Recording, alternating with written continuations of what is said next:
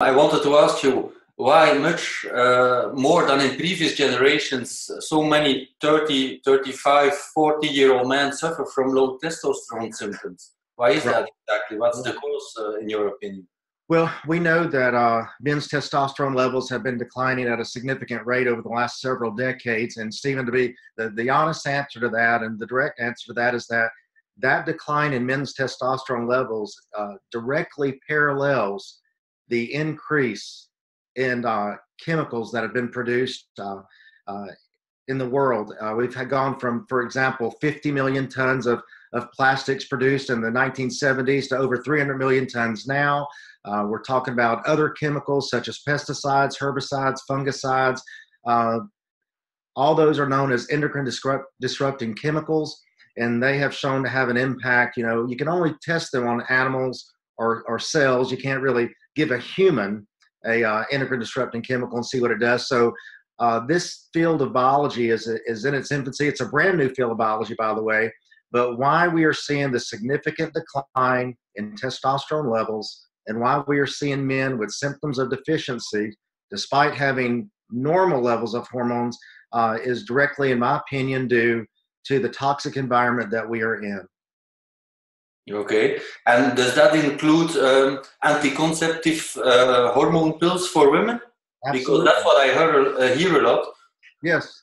Well, you know, when you start studying endocrine disrupting chemicals and how they affect hormones, what we really, the, the three main areas that they've studied are the thyroid receptors, the estrogen receptors, and the androgen receptors. My actual area of, of interest is with the androgen receptors themselves, but you know there's also uh, just as much going on when it comes to stimulating or blocking the estrogen receptors and thyroid receptors uh, along with the androgen receptors that i study. So yes of course the birth control in the water is affecting us all.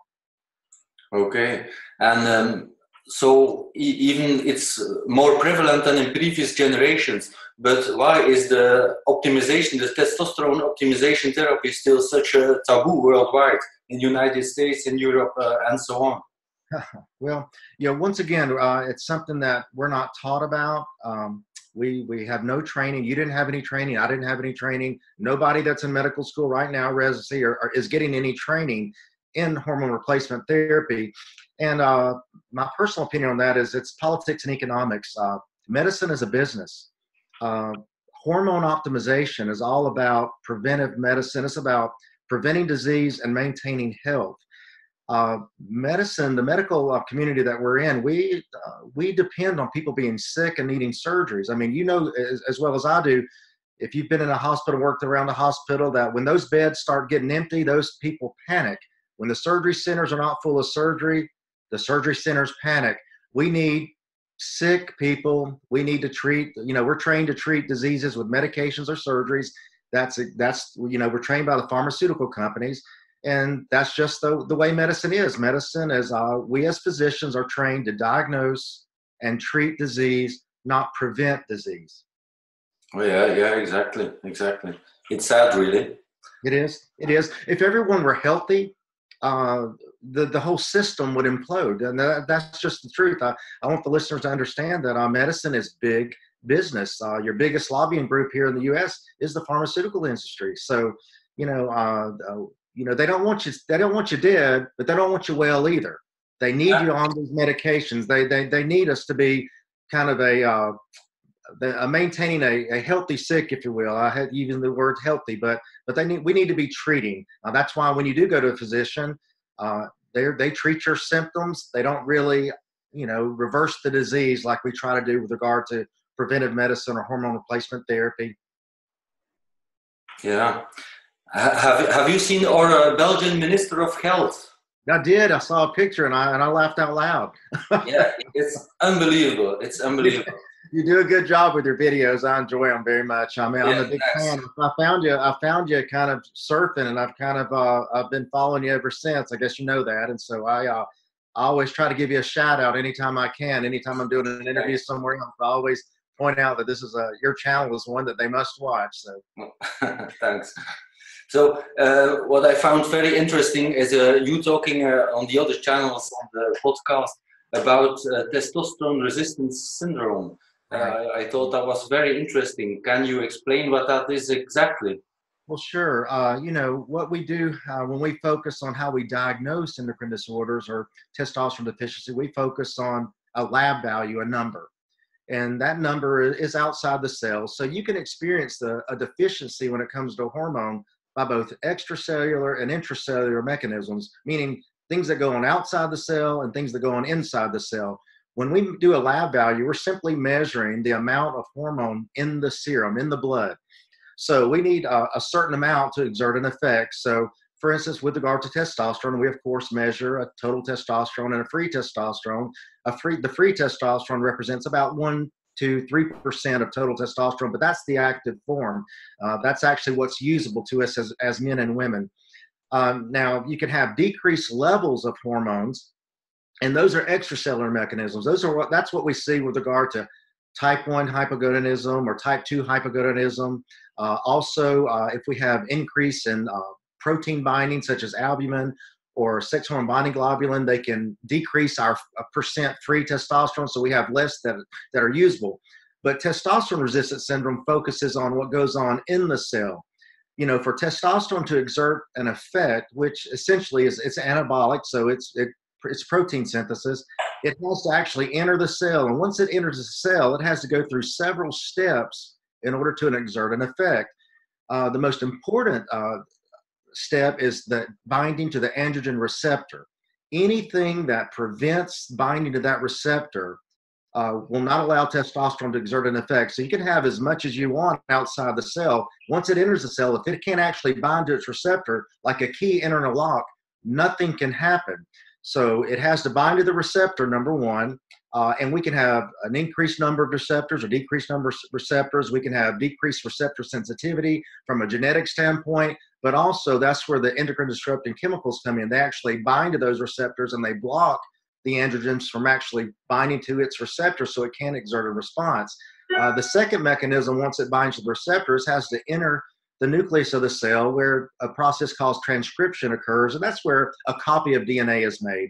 Uh, that copy of DNA is then taken outside the nucleus and then is, goes to a to what is called a ribosome, and that's where uh, protein synthesis occurs, and that's called translation. So you've got androgen receptor binding, transcription, and translation. These three major processes that must occur inside the cell before testosterone can exert, can exert an effect. Anything that affects any one of those three processes will cause symptoms of deficiency, even if you have normal levels outside the cell. And we in medicine simply measure what's outside the cell. We do not measure or we can't uh, measure what's going on inside the cell in each human being. So I'm treating these men with so called normal levels, but have all the symptoms of a deficiency because the problem is in inside the cell, the intra, intracellular mechanisms, not what's going on outside the cell. And uh, do you have any idea what the ratio is of men having uh, low testosterone symptoms with low testosterone versus the, the other men that have normal levels with low T symptoms? You, you know, uh, that, that's where there's a lot of inter-individual uh, variability when it comes to testosterone levels in general. Uh, you can take two men with the same level, the 600, one can be very symptomatic, the other can have no symptoms at all. And once again, do you really get down to does one man have more receptors than the other? Does is one more sensitive than the others? Does, is one has one had more exposure to EDCs or is receptors being blocked? So that's that's where you know you, you don't know, but that's where we do treat symptoms. So if I have a man come in, you know, it's not so much the the initial number that I'm looking at is I'm trying to treat his symptoms. Now the endocrine societies, as you know, and other societies will tell you that if those normal those levels are normal, uh, that we should look for other causes of those symptoms. So if they come in and they're fatigued and they you know are too tired to do anything what's the first thing they're going to get is an antidepressant. If they can't sleep they're going to get something to help them sleep. If they can't get an erection they're going to get you know uh, something to help them get an erection. We're going to treat all those symptoms without really getting to the cause. And the reason is is we're trained to treat a lab value. We've turned into a lab centric medical society versus a patient centric we used to treat patient and their symptoms. Now we treat a lab value. And if that lab value is normal we do not consider other diagnosis. We just treat symptoms. So, uh, so that's uh, typically what ends up happening. And I think that you know, we did not see this uh, 20 years ago. You didn't see 30 year old men coming in with symptoms of low testosterone. This is a, a fairly recent uh, event that's been occurring over the last several decades, but once again, it directly parallels the increase in our chemical exposure. Yeah, so you agree that the patients with uh, testosterone resistant syndrome should be treated uh, as well. That, that is the only treatment. We uh, the, the the sad state of affairs right now is that you can't avoid the exposure. If you test 100 people, every single one of them will will have will test positive for EDCs. Uh, so the only so we can't avoid we can't avoid the poison because we don't know half of them that are out there. They're not tested. Uh, we don't know what we're being exposed to. They don't test them uh, in a mixtures. They just test them one at a time anyway. And the way they're tested is not how we're exposed to them. There's a, so there's a lot of flaws right now. And once again, I'll, I'll point out that it's in its infancy. This is a new uh, field of biology, but nonetheless, the treatment is to op- you have to outcompete the EDCs for those androgen receptors. If we can't bind to those receptors, then we can't get a response from any hormone. So yes, I believe that that's the that's the treatment. But you know, until mainstream medicine um, acknowledges the existence of, of what's occurring, then uh, then we're going to continue this battle, and all these men uh, are going to continue to to be undertreated or not treated at all, and and, and they suffer. You know, uh, but you know, uh, I guess turnabout is fair play. What we are starting to experience is what women experience uh, through menopause, yeah. which is you know which is a terrible experience for them. Uh, they all need to be treated. It's endocrine failure for them. But uh, so us men now are getting a little taste of our own medicine there. Yeah. And uh, what are the testosterone levels? Uh, at the expected testosterone levels at what their symptoms may clear? Uh, well, that, that's probably then above the physiological ranges that's totally an, an individual uh, uh, response. Since I treat symptoms, then I will start with a dose and I will uh, monitor their symptoms every four to six weeks. And then once their symptoms resolve, whatever that number is, it is. And, uh, you know, typically if you're dealing with a 40, 50, 60 year old gentleman, uh, when I typically see someone that comes in with significant symptoms of testosterone deficiency, uh, their symptoms typically resolve on average. People ask me, you know, I'm not following a number, but they'll ask, what level do you typically see them resolve? And it's typically with a free testosterone level between 30 and 50. Yeah, okay. And that may and that may translate to it. And these are American numbers. Okay, of course, these are not not your numbers. You'll have to convert for us there. But uh, but the uh, but that may that may correspond to a total testosterone here in the in the U.S. to uh, being 12 to 100 to, to 18, 1900 maybe, and that's considered super physiologic. Yeah. But as you know, uh, that as you know, what is uh, normal, what was normal before July 17th, uh, 2017, is now super physiologic. And what that means for your viewers is the testosterone levels, normal levels have significantly declined. So our new normals are much lower than they were prior to 2017. And prior to 2017, a normal level, upper, upper limit of normal was over 1500 uh, in certain labs. Now the normal level is 916, the high, the high normal. Uh, but, but what's most important is the low normal has gone from 348 to 264. That means if your testosterone is not less than 264, your doctor will not treat you for testosterone deficiency, even if you're severely symptomatic. And not only will they not treat you, they they they make the test they skew the test so you will be denied treatment in most cases because a man's testosterone level has what we call a diurnal variation and that means it's it's higher in the morning hours. So they force you to test men at eight o'clock fasting at, on at least two occasions and they have to fail that test other be other words be less than 264 on two occasions in order to uh, to meet criteria and most men will not meet that criteria yeah, exactly. It's the same numbers here. It's uh, 250 till 950 on the laboratory sheets. Yeah. and you have to test it in the morning as well. Yeah. So, so now when we treat someone, if we would have treated them a year ago, and let's say we got their levels up to 1100, and because uh, the normal was 1197 then, uh, that would be completely fine. That's normal. You're you're within the normal range. Now, if you put somebody at 1100, they're super physiologic. You're doing really bad things because the new normal is 916. So just within one year, you've gone from something that was normal to now being super physiologic and considered taboo. Uh, but you know, us men, even though our testosterone levels are declining, uh, we have decreased production. We're not responding to the testosterone we have due to the, the blockage of the receptors. Uh, we we do, we're not in any less of a need from testosterone than what we needed 100 years ago. Though we, we need just as much, maybe more. I mean, of course, I think we need more than we did at that time to outcompete our toxic environment. But instead, uh, we're forced to give men less. You know, I can't tell you the number of men I see that come in that their doctor will only treat them to a certain number, and that number would have been a pathetic number uh, 30 years ago, you know, but now it's considered high or you are, or you should be well, you know, they, they tell them that, well, you should be well now. Your testosterone level is 500.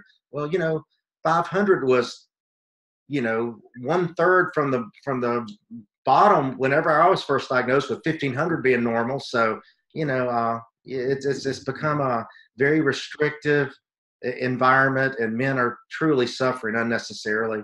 Yeah. Yeah it's sad really.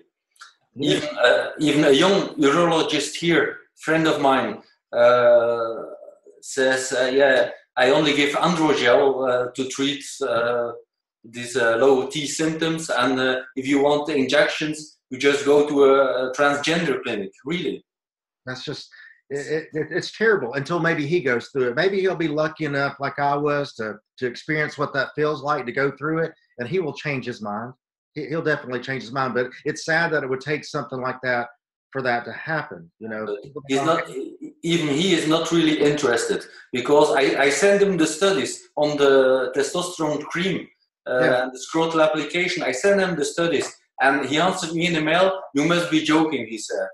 Yeah. Well, like I said, there he doesn't have an open mind. Uh, we're, uh, you know, we, uh, you know, I hope our viewers understand when you're in the and when you get into the medical system, it's almost like a military system. You're trained very rigidly. You're trained within these very narrow parameters. You know, normal is normal, and uh, you know, so we don't question authority. It's yes sir, no, sir. No different than the military, and uh, and so we come out with a very rigid way of thinking. Uh, we're not open to new ideas. If we've learned it one way, then that's the way it's always going to be. We're not open to uh, to new ideas, and so that that's that's really the problem and uh, you know, and, and it is a sad state of affairs, and only the people out there that suffer, you know, until you know they find a physician such as yourself that's well educated in it. But you know, it took you going through it to understand it as well. Yeah.